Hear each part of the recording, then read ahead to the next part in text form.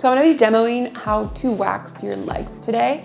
There are um, three different leg surfaces. We have the full leg, which is from the toes all the way up to the thigh.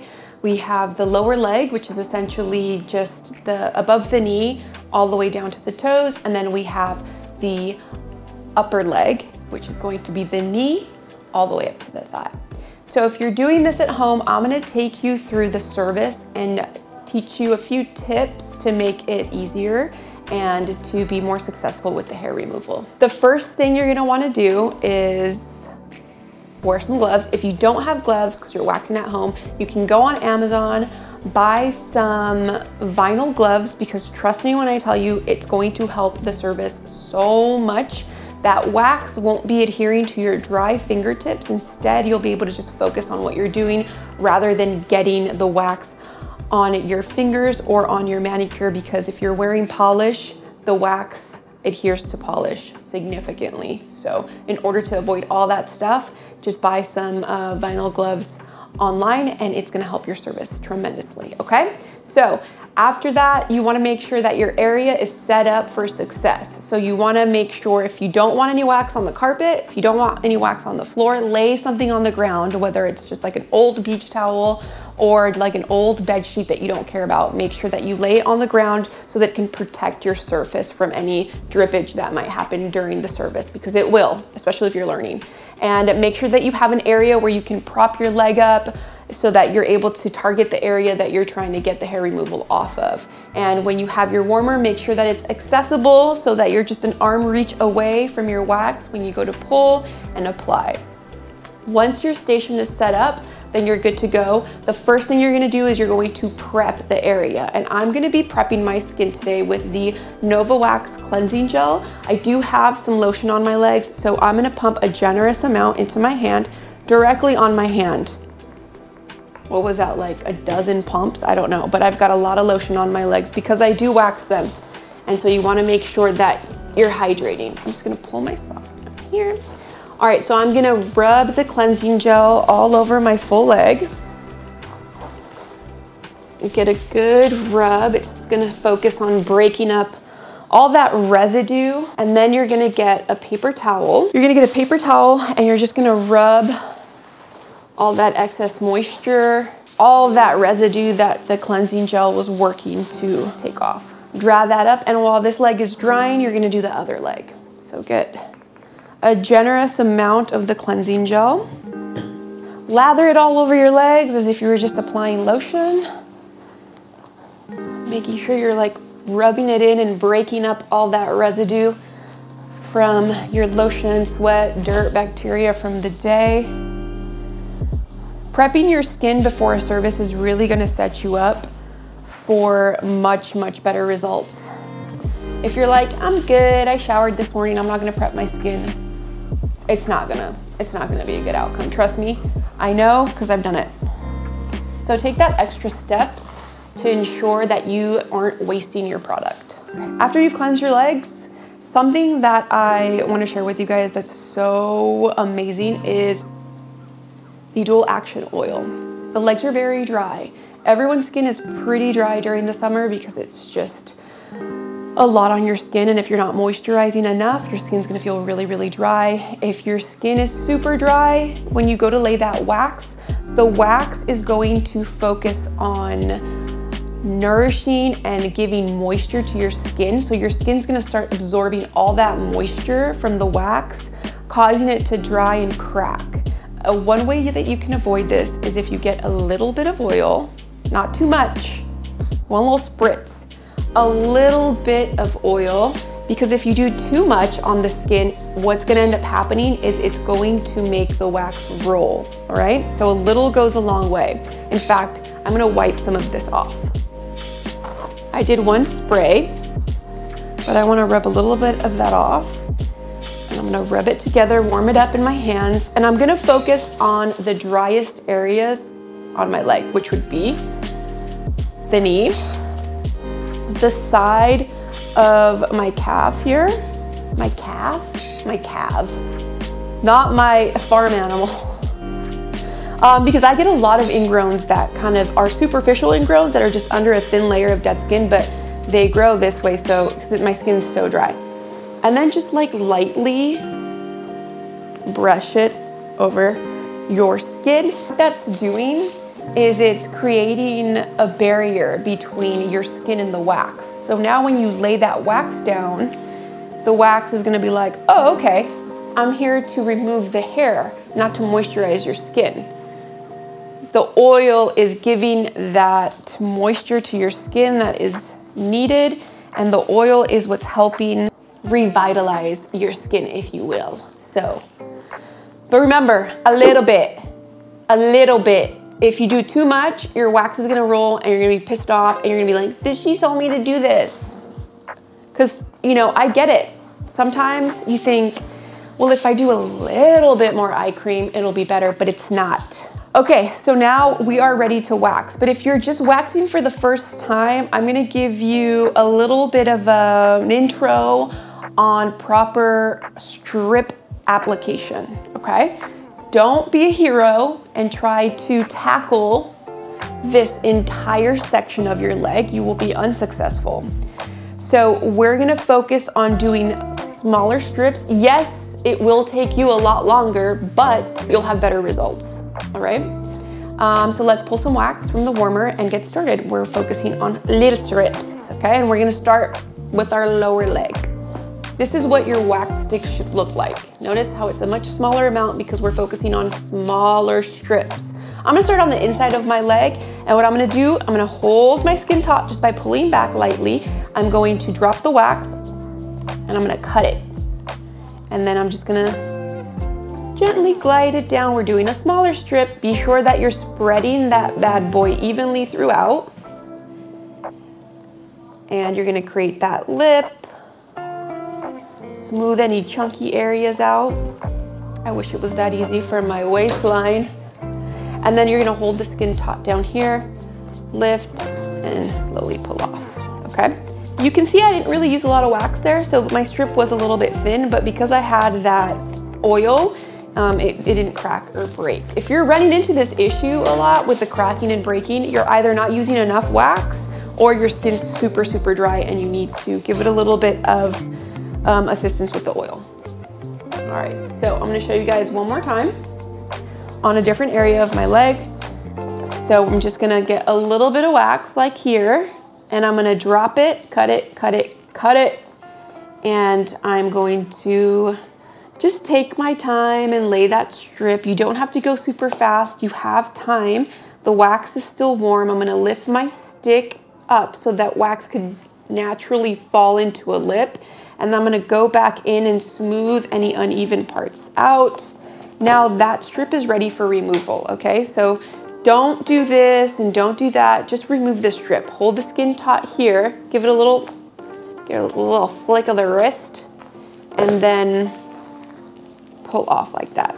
I don't go super duper fast, like, because A, it's a small strip. If it were a longer strip, I would have to follow through. But because it's just such a short strip, I'm going slower. Also, my hairs are so fine in texture because I've been waxing for years and years and years and years that if I go too fast on fine textured hair, I'll break it, okay? So let's do that one more time. Again, you don't need that much wax because if you're a beginner, you don't you're having trouble probably pulling that much wax from the warmer. So don't worry if you're only able to get a little bit of wax on your stick, just focus on little strips for now. When you get to the base of the strip, lift the stick up, create that lip, go back around to smooth any uneven edges, and you're ready to remove that strip. Also, if you're waxing at home and this is your wax and this is your warmer, you do not have to use a new stick every time you apply a strip, okay? It's your wax warmer. So use that same stick over and over and over again until you can't. So I'm gonna show you how to get out of this situation if it happens to you. If you can see here, my strip has cracked because it was uneven and it was just too thin and apparently I didn't put any oil there. So what I'm gonna do is instead of tugging at it and trying to uh, remove the strip, I'm just gonna fold it over, shiny side out, I'm gonna stick it back on the area that didn't come up. I'm just gonna lightly have it not come off, okay? So let's do it again. Boom, just go over that same area. And if you are if you're applying wax to an area that you've already applied, you'll, you'll, notice it's significantly hotter. Don't worry, it's not that the wax is getting hotter, it's just that your skin has become more sensitive because you've removed that top layer of dead skin cells. So there we go. Crisis averted, went in, removed that hair, no big deal, okay? So a real difficult area when you're doing the legs are the knees. The knees are like the driest point of our body besides our elbows. And when people get to this area of waxing, they're kind of stumped because like A, the wax is cracking and B, they don't know how to wax over this curve, whether you have really bony knees like I do or just, uh, a, it's just a difficult area to target any way you look at it. So I'm gonna show you how to properly wax a knee and what to do if you run into some trouble. Okay, here we go. So with the knee, you're gonna need to get a lot of wax because it's such a dry area. So we're gonna get a nice, we're gonna get a nice heaping stick of wax. You're gonna bend the knee, not too much, just like that. I'm gonna cut the wax and I'm just gonna work all this wax in over my knee. Look how thick it is. And then I'm just gonna keep applying pressure, focusing on the hair growth area. Wipe off that excess on there and just work it in to the knee like so. Remember, this is a thicker strip. So typically when I say after your stick's been removed, you can remove the strip, not this one. This one's thicker, so it's gonna need a little bit of time to set. Not too much time, just a little bit. Okay, once we do that, I'm not gonna remove the strip with one swift pull because that's just impossible. Like I said, the knee, it's got curves. She's curved. So you're just going to move it, uh, you're going to remove it in parts, all right? Almost like a, um, hmm, I don't know how to explain it in words, so I shall do it in sound. Duh, duh, duh, duh, duh, duh. Do you know what I mean? So let's start with the lip and just like so. Beautiful. And that's how you're gonna get those difficult areas. I don't just do the one strip though. I also do one going around because here you have growth that goes downward to the side, this side, so you can essentially do another strip going to the left and another strip going to the right. This is a more advanced strip, so don't kick yourself if you can't, you know, target this area I'm gonna get more wax. And I'm gonna tilt my knee in, start from the side, curve that bad boy over, like so. You can do it, put your back into it. This is a little bit messy, but that's okay. Nobody's perfect. Collect any strips. And this is a very messy strip. So let's see what happens when I remove.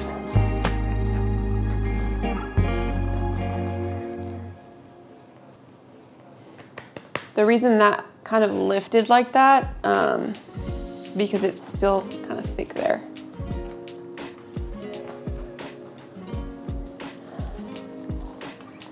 Just like that. I'm gonna show you now how to target areas that are a little more challenging to reach, like the back of your legs. So make sure that you have like a chair or something that you can prop your leg on, especially if you're waxing at home. So set yourself up for success, okay? Let me show you how I do the back of my leg. I'm gonna get a little bit of wax because when you get into this position, you start focusing on your movement and then this starts to slow down and you're gonna drip, okay? So I just prop my leg up and then I rotate my body and my leg. And then I just kind of lean back. Now I know this isn't for everyone, but this is just how I've learned to do it over the years and I just bend at the waist. So it's a little bit of a stretch here. You don't really have to go super fast on that removal. The next movement is if the last one was too challenging, this one should be a little bit easier. I hope. okay? Again, you're gonna get a little bit of wax. You don't need that much because that'll happen. You'll drip on the floor. And if that's a rug or carpet, you wanna get in trouble. And then you're gonna sit down, prop your leg up, and you try to just pull the skin back as much as you can, drop the wax, and just kind of work it in like so.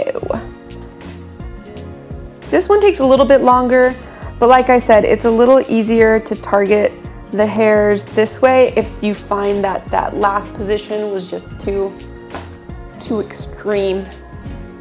Wax extreme, extreme waxing. okay. Just like that. After you've waxed, it's really important to hydrate. So I am going to do my hydrating lotion. A good hefty amount. We love some supple, luscious skin on your legs. Your at-home care is so important and it's just crucial to the overall results that you'll get from waxing.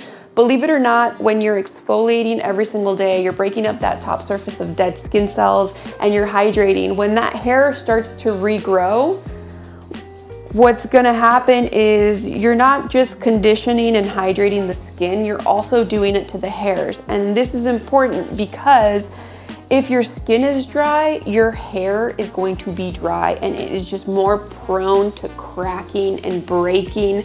So make sure that you're hydrating even during regrowth and even if you got hairy legs, hydrate those hairs because it will be just uh, easier to wax off.